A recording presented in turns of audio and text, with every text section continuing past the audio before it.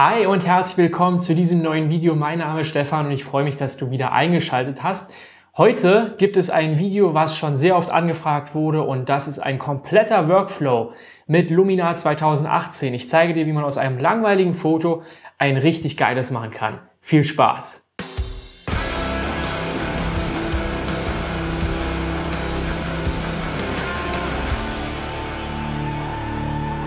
Ja, vielleicht hast du das ja schon mal auf meinem Kanal gesehen, dieses Video, ein langweiliges Foto in ein geiles Bild verwandeln. Und damals habe ich das mit Lightroom gemacht und übrigens auch mit genau demselben Motiv. Das Foto ist zwar neu, das habe ich äh, jetzt vor kurzem erst geschossen, allerdings genau an derselben Stelle. Aber ich dachte mir, ich zeige dir jetzt mal das Ganze mit diesem Motiv auch in Lumina 2018, denn man kann auch mit dem Programm eine ganze Menge machen. Bevor wir aber mit der Bearbeitung anfangen, wollte ich dich noch ganz kurz auf meinen Instagram-Account hinweisen. Da lade ich immer wieder meine neuesten Fotos hoch. Das ist im Moment die einzige Plattform, die ich damit bespiele. Also schau auf jeden Fall mal auf meinem Instagram-Account vorbei, Stefan Schäfer 90. Als besonderes Geschenk gibt es auch die ganzen Bilder, die ich jetzt hier benutze in diesem Video auf meiner Webseite. Da kannst du einfach mal raufgehen, da kannst du sie kostenlos runterladen und mitarbeiten.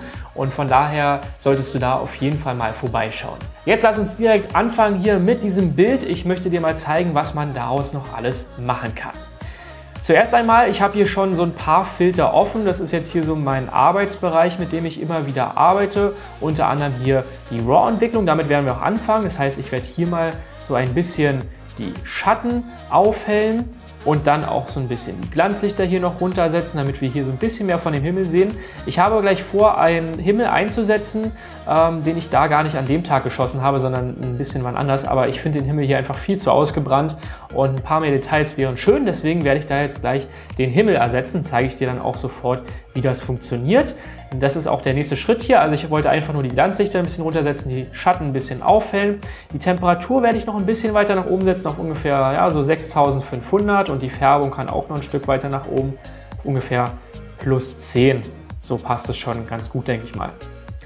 Dann werde ich äh, diesen neuen Himmel jetzt hier einfügen als nächstes. Dafür habe ich hier oben eine Ebenenpalette und da klicke ich jetzt hier einfach mal auf das Plus und sage neue Bildebene einfügen. Ich habe jetzt hier mal noch äh, eine JPEG-Datei von einem Himmel, die werde ich jetzt hier einfach mal öffnen. Die findest du auch in dem Download-Paket, was es auf meiner Webseite gibt. Und dann können wir das Ganze hier direkt einfügen. Das wird jetzt erstmal hier so komplett über das Bild drüber gelegt. Das wollen wir so natürlich nicht, denn wir wollen das Ganze hier noch ein bisschen anpassen. Und deswegen gehe ich jetzt hier mal auf Werkzeuge und frei transformieren. Lumina braucht jetzt einen kleinen Augenblick, um das hier einmal vorzubereiten und dann kann ich das Ganze jetzt hier erstmal so ein bisschen weiter zusammenschieben. Ja, also ich brauche ja die Sonne hier nicht ganz unten, sondern ich brauche sie so ein bisschen weiter hier oben. Ähm, ich werde jetzt insgesamt den Himmel auch noch so ein bisschen weiter nach oben schieben. Jetzt werde ich mal gucken, dass ich hier die Sonne ungefähr da platziere, ungefähr hier, wo sie auch wirklich war, damit das Ganze auch einigermaßen realistisch ist. Ja, also ungefähr hier. Das ist schon ganz gut. Und jetzt werde ich mal einfach hier das Ganze noch so ein bisschen weiter auseinanderziehen, damit wir hier auch wirklich überall Pixel haben, wo wir sie haben wollen. Und jetzt haben wir hier diesen Himmel mit diesen kleinen Wolkenstrukturen und so weiter hier schön eingefügt. Wenn ich damit zufrieden bin, klicke ich hier einfach mal auf Fertig. Und das Ganze sieht jetzt natürlich noch ja, nicht sonderlich gut aus. Das Ganze muss jetzt noch miteinander verblendet werden. Und das ist jetzt der nächste Schritt, den wir machen werden. Wir haben jetzt hier zwei Ebenen übereinander und ich kann jetzt mit einer Ebenenmaske diese neue Ebene hier, wo der Himmel drin ist, mit der darunterliegenden Ebene verblenden. Und dafür klicke ich jetzt hier einfach mal auf den Pinsel und da sage ich jetzt einfach mal Verlaufsmaske. Und jetzt kann ich hier einen Verlauf aufziehen. Das Ganze werde ich jetzt hier einfach mal mit gedrückter Maustaste machen, ungefähr so, dass der Verlauf hier bis zu dem Horizont geht. Ja, so gefällt mir das schon ganz gut. So können wir das lassen. Und dann klicke ich jetzt hier einfach mal auf Fertig. Beziehungsweise werde ich jetzt hier im nächsten Schritt nochmal den Pinsel nehmen und hier ragt das Ganze ja so ein bisschen in die Berge hier hinein. Deswegen sage ich jetzt hier einfach mal mit dem Pinsel radieren. Die Größe kann ich noch ein bisschen runtersetzen, die war auch nicht ganz so groß. Ja. Weiche Kante 100 und Deckkraft 100 und dann radiere ich das quasi hier nochmal so ein bisschen aus den Bergen raus, damit wir hier auch keinen Himmel drüber zu liegen haben. Aber so gefällt mir das schon ganz gut. Wir haben jetzt hier unten noch so ein bisschen den helleren Himmel, aber das ist ja auch genau das, was wir haben wollen, denn hier ist ja die Sonne.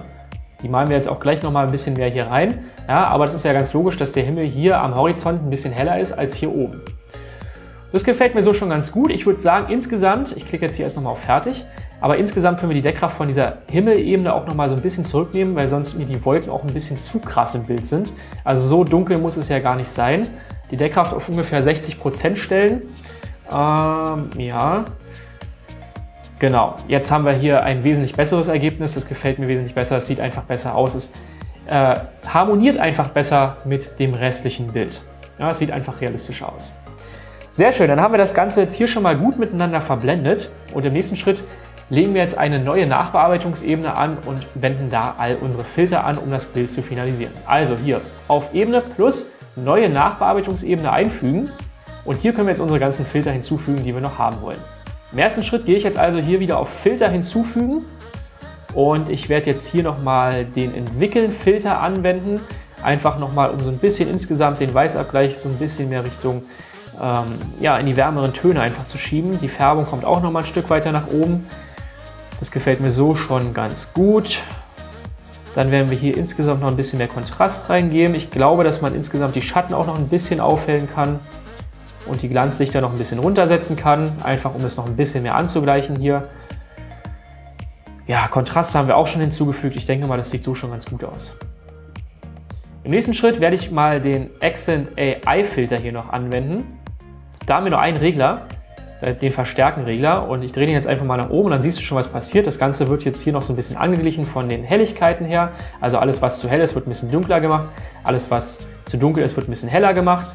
Und es gefällt mir hier sehr gut, weil das so ein bisschen mit künstlicher Intelligenz das Ganze hier funktioniert und die Ergebnisse sind wirklich richtig super. Ja, also da hat Lumina bzw. Skylum einen richtig guten Job gemacht. Dann werde ich auf jeden Fall hier noch ein bisschen Dunst entfernen mit dazugeben. Dazu scrolle ich jetzt hier noch mal ein bisschen weiter runter, packe hier die Stärke auf ungefähr so, ja, so 13 ungefähr. Das gefällt mir so schon ganz gut. Sehr schön, mehr brauchen wir hier gar nicht. Und dann gehe ich noch ein Stück weiter nach unten. Und jetzt werde ich die Sonne noch einbauen. Das ist jetzt auch nochmal ein Ding. Hier gibt es einen Filter Sonnenstrahlen. Äh, da habe ich am Anfang gedacht, als ich das erste Mal den in Lumina gesehen habe, oh mein Gott, wer wird den denn jemals verwenden? Also kein professioneller Fotograf wird sich jemals so eine Sonnenstrahlen in sein Foto bauen. Aber das ist tatsächlich jetzt hier mal so ein Szenario, wo es wirklich funktioniert. Ja? Also Sonnenstrahlen packe ich jetzt hier einmal rein und jetzt siehst du hier schon, haben wir eine Sonne drin. Ähm, die werde ich jetzt erstmal hier noch ein bisschen verschieben. Das kann ich entweder machen, indem ich jetzt hier die X- und die Y-Werte hier mit den Reglern verschiebe. Ich kann aber auch einfach hier Sonnenzentrum platzieren klicken und dann kann ich hier meine Sonne verschieben im Bild, wie ich möchte. Und du siehst jetzt auch schon, wenn ich jetzt zum Beispiel die Sonne hier so ein bisschen hinter den Berg packe, dass dann auch tatsächlich das Programm das erkennt und hier die Sonnenstrahlen dann auch so ein bisschen verdeckt. Also das ist extrem cool gemacht. Ich werde jetzt hier die Sonne mal wirklich so zwischen den beiden Bergen hier so ein bisschen platzieren, damit wir hier so ein paar Sonnenstrahlen haben, die hier herausgucken.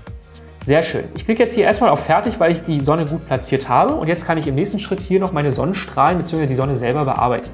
Ich kann jetzt hier also zum Beispiel mal die Stärke einstellen. Ja, das würde ich nicht zu doll machen, eher ein bisschen weiter runter. Den Look kann man hier noch einstellen. Also möchte man außenrum das ganze Bild ein bisschen dunkler haben oder eher ein bisschen aufgehellt haben. Ich denke mal, hier so bei 50 kann man das lassen. Man kann die Nummern der Sonnenstrahlen hier noch einstellen. Ja, ähm, würde ich auch ein bisschen weniger machen eher. Die Länge kann ich hier noch einstellen, die würde ich auch ein bisschen kürzer machen.